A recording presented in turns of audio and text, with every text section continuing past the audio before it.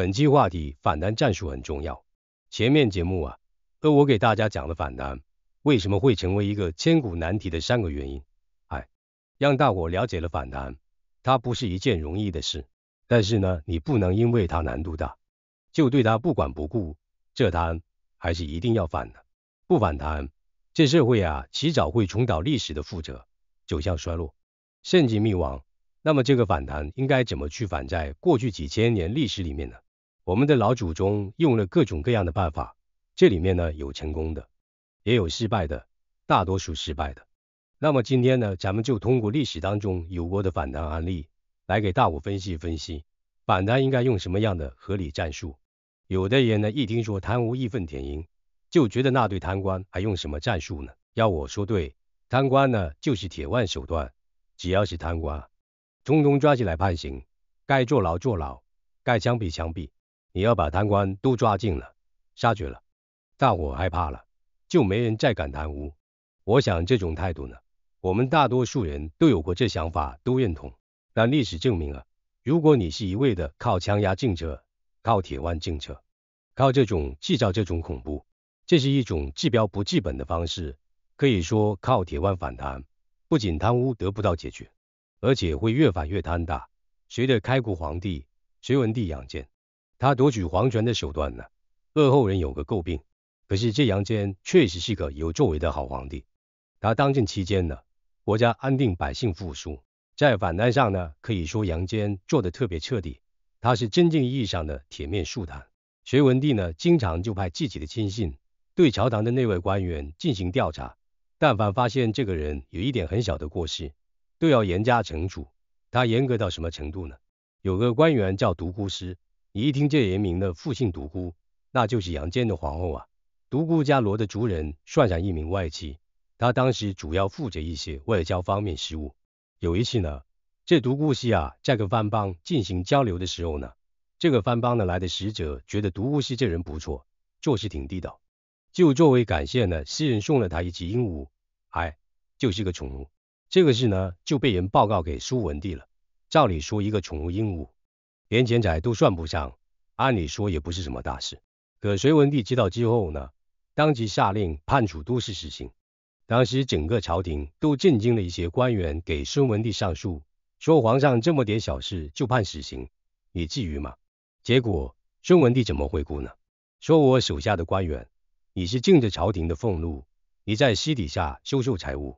就等于是国家怎么严苛惩戒都不为过，而且就惩罚的严重，才让所有官员心存畏惧，贪污者不敢再贪。就这样呢，隋文帝啊，甚至创造出了一次性罢免河北省五十二个州大小官员二百人的记录，导致整个河北省在那一个时间点上，几乎官场没人可用了，大事小事都没人处理了。你说这社会上的治安得乱成什么样？但隋文帝不管他，就是要把反弹进行到底，把贪官污吏赶尽杀绝。到最后啊，所有官员都迫于隋文帝铁腕反弹，真没有人再敢顶风作案了。就这样，隋文帝还不满足，他认为这些人就是不敢，并不代表他们不想贪污。他想个什么招呢？就我们今天明令禁止的钓鱼执法，就是隋文帝他老人家最早发明出来。他采用钓鱼执法的方式。他暗地里呀，派人把一些金银财宝啊，这个什么丝绸布匹啊，送给一些他怀疑的大臣和官员。谁要敢收，只要收了，当场拿下，判处死刑。哎，情节严重的呢，得拉到朝堂之上，当着所有文武百官的面斩首示众，来达到杀鸡儆猴的效果。当时的晋州刺史啊，南阳郡公啊，什么抚宁郡公啊，这些可以说类似封疆大吏的官员，本来工作做得好好的。但隋文帝偏要拿财物去考验人性，这几位没经过人性的考验，最后丢了命了。那么历史上跟隋文帝同样对待贪官、采取铁腕手段的，还有明朝的开国皇帝明太祖朱元璋，这老兄手段比起隋文帝啊有过之而无不及。他当政的时候，那简直就贪官官的地狱，皆将张官杀杀的起点降低低有史以来最低。就你只想贪银至六十两，一律处死。绝不官待那六十两银，按照当时购买力换算，到今天实际上就等于今天的一千二百块钱，就相当于我们今天法律规定你要他一千二百块钱，也就枪毙这种结果，直接导致全国范围的政府部门瘫痪。这官员不是被杀，就给关起来的。监狱里的官啊，比罪犯多。后来还觉得不不满意，这朱朱元璋还总结了多年反腐经验，耗时两年，编了一部警肃贪官的法律文件，叫《大道》，其中记载最残酷的一条。咱们别的节目也说过，就是官员一旦要犯贪污罪，在当地土地漂亮的示众，恶把这个这官员的皮剥下来，然后在皮里头添上草，立到那来示威。就非常残忍残酷。那么论及反弹态度强硬和处置方法的严厉，我估计没有哪任皇帝比孙文帝和朱元璋更严格。可是他们这种方式治标不治本，一味的强压政策呢，没有达到他们反弹的初衷，就是在他们在位的时候是贪官污吏明显减少了。可是问题是这种高压政策，你挺不了多长时间，人人自危，没人愿意给朝廷效力一点一点的。就没有人愿意干活，所以等他们过世之后，孩子上来你就百废待兴。为了天下稳定呢，你还得重新启用一些人，结果会造成什么呢？这个贪污之事啊，叫报复性反弹。结果这些皇上死了之后呢，他的继任者呢，新皇帝上来之后，贪污这事呢，大规模反弹。所以你看，无论是这个隋朝之后，就是我们说隋文帝杨坚之后，到了隋炀帝杨广的时候。还是到大明王朝朱元璋之后的历任皇帝时期，贪官污吏的规模达到历史的巅峰。所以反弹呢只靠惩处贪官这种简单粗暴的方式，那显然是不行的。那么既然靠铁腕惩处行不通的话，有的人就琢磨了，是不是用一点怀柔的手段呢？玩个曲线救国路线就可以了。说既然贪官我们杀了一批，还会冒出新秘题，那我们不妨换个思路，什么呢？你当反弹，用贪官来治贪官，哎，你咱俗话说嘛，最了解敌人的那就敌人自己啊。咱们看美国那个电影《猫鼠游戏》里边，很多造假高手出来造假币，政府官员都验不出来，可把这些假币交给了那个原来的最厉害那个造假高手小李子扮演的弗兰克的时候，所有造假手段人全明白。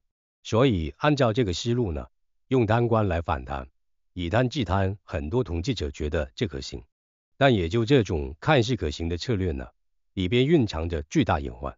哎，就是在遏制一部分贪官的时候呢，又让另一部分贪官做大了。用我们今天话来说呢，就是你只拍苍蝇不打老虎，最后这老虎会越来越大，到最后贪官的势力你收拾不了，无法控制，那必然就会出现集中难返情况。咱们举一个以贪反贪失败的例子。在乾隆年间呢，身为甘肃不进使的王乃旺，以甘肃啊招灾的名义呢，向朝廷虚报赈灾款项，从中中饱私囊。反正王乃旺呢胆子挺大，脑袋有点不好使，说收了要完赈灾款之后啊，给朝廷报账的时候，你得做个假账。结果他把真实数据给报上去了，其中有一条写着说收捐一万九千多人，呃捐动脉呢八十二万的。乾隆一看说这是不对啊。你不说甘肃旱灾吗？这这旱灾的烧灾怎么还最后能修上来都卖八十二万担呢？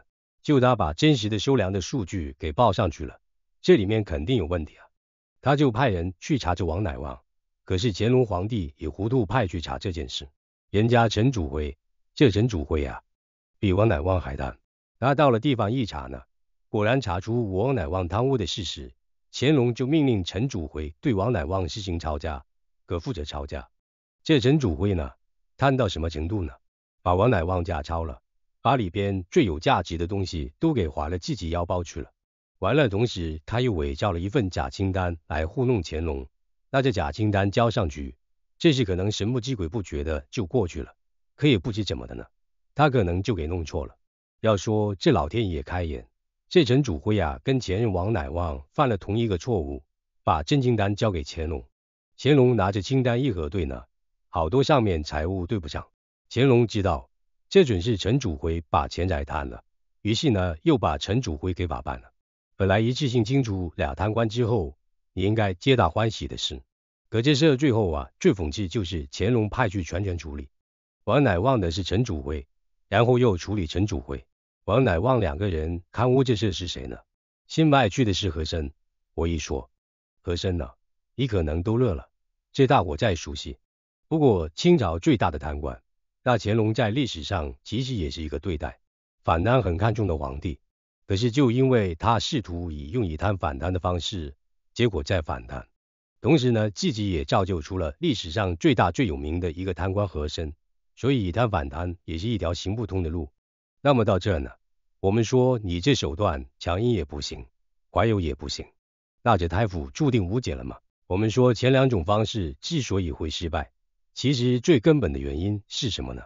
两者都把目标放到贪官上面，官员贪污只是一种表象，人最原始的欲望才是贪污的本质。如果你不能从思想的本质上找办法去解决，那么你即使爱你你再能想出一千种反弹的方式，最后也会是徒劳这一点了。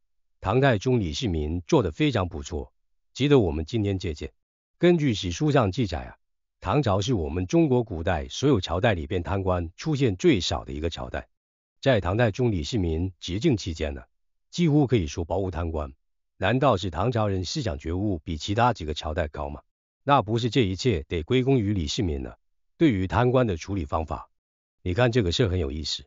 大唐贞观六年，哎，就公元六百三十二年，当时有两名贪官犯了贪污罪，一名是开国功臣之一啊。长孙顺德、长孙皇后的叔，另一名呢叫陈万福。哎，官居啊，右卫将军这俩人犯啥事了呢？照理说这事是不是很大？长孙顺德呢奉命调查宫中奴仆啊偷盗财物的事，结果这些犯了事奴仆啊害怕，就用二十四匹绢帛贿赂长孙顺德，长孙顺德就把他们给放了，就二十四匹绢帛。另外一位陈万福呢，跟长孙顺德比起来。你就更有点说不过去了。他从陕西九成宫回长安述职的时候呢，路过一所驿站，把驿站里边啊十几袋进卖府籍给拿走了。你说你一介朝廷命官，连几袋卖府籍都不放过，这影响太恶劣。事发之后呢，两个人当着满朝文武面面对李世民的判罚。本来这两人想被皇上钦点这墓的明显杀机给猴干了，这肯定死定了。结果没想到李世民呢没处罚。他还命人呢，赏赐给他们很多的绢帛和麦麸子。这你不是饿，拿着这个绢帛吗？我再多给你啊，你不是拿麦麸子吗？我再多给你麦麸子，但是呢有个条件，把这个堆积如山的绢布和麦麸子搁到朝廷上面了。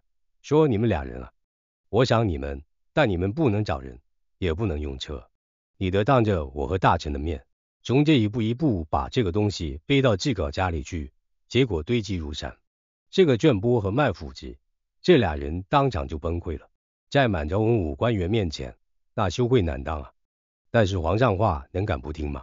只好一趟一趟把这些赏赐背回家。发完之后，这俩人累得半条命都没了。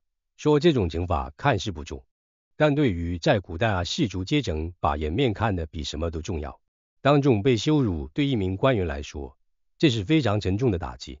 而当时呢，大理寺的人就好奇，就问李世民为什么不发反赏。李世民说说这些绢帛呀和麦麸对他们来说已经是一种惩罚了。如果他们并没有因此感到愧疚的话，他们就跟禽兽一样。那样的话，你杀不杀他都无所谓。所以从这件事发生之后呢，贪污的官员一旦敢将自己贪污的东西在众目睽睽之下带回家，那就相当于祭祖的游街示众了。那对于他们来说，那就是极大的耻辱。贪污的东西不敢用，时间一长，就没几个人再愿意贪污了。这所谓正人先正己，永年先养心。因为李世民呢，没有像我们前面说那两个例子一样，把贪污者作为一个敌人去看待，而是把它当成了人性的一部分，从道德和心理上引导来解贪贪污的。所以，我们说反贪呢，是一场持久战。对于持久战来说呀。选择合适的战术是最重要的。这种合适的战术是什么呢？就像我们现在的国家领导人提到的说，你首先要用这个严刑峻法，让他们不敢谈，然后呢，再用合理的制度限制他们，让他们不能谈，最后再从思想根源上解决这些人问题，让他们不想谈。所以你注意这三步说的很有道理。哎，不敢谈，不能谈，不想谈，也就是说。法律层面、制度层面，进而到道德层面，有三管齐下，三手都要抓，三手都要认，这才是解决反弹这一千古难题的真正办法。